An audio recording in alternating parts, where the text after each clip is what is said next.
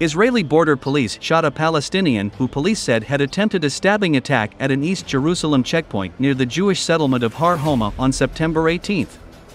The forces opened fire at the suspect and neutralized him after he pulled out a knife and approached border police officers at a checkpoint, the police statement said. The suspect, who police identified as a 47 year old resident of the Bethlehem area in the occupied West Bank, was taken for medical treatment and no Israeli officers were wounded in the incident, police added.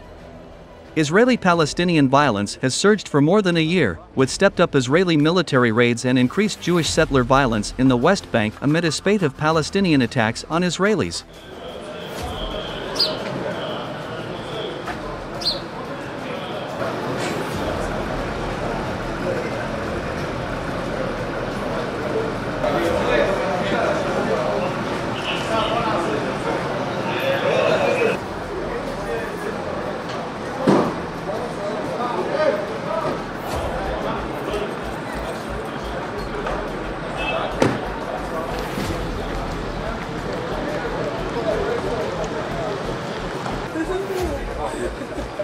שנה טובה.